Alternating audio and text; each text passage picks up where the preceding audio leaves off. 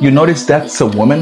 It's not random. She probably has her ACL ruptured. Women are up to six times more likely to tear their ACL than men. And most people have no idea why. Let me show you four reasons why. First is anatomy. Women tend to have wider hips, which changes the angle between the hips and the knee. That angle makes the knees more likely to collapse inwards when they land or cut. That inward buckle puts a ton of stress on the ACL. Second is muscle patterns. Women are more quadriceps dominant, meaning that the front thigh muscles do most of the work. The quadriceps pull the shin forward, and the ACL's job is to stop that. So too much quadriceps activation without enough hamstring support is a perfect setup for ACL tear. Third is hormones. Estrogen can make ligaments looser, and at certain times in the month, it rises enough to make the ACL more vulnerable to rupture. It's biology, not weakness. The fourth is landing style or mechanics. Women often land with straighter knees, exactly like we saw in this video. Now, straight knees plus hyperextension is ACL's worst nightmare. This is preventable. Strengthening your hips, your glutes, your hamstrings,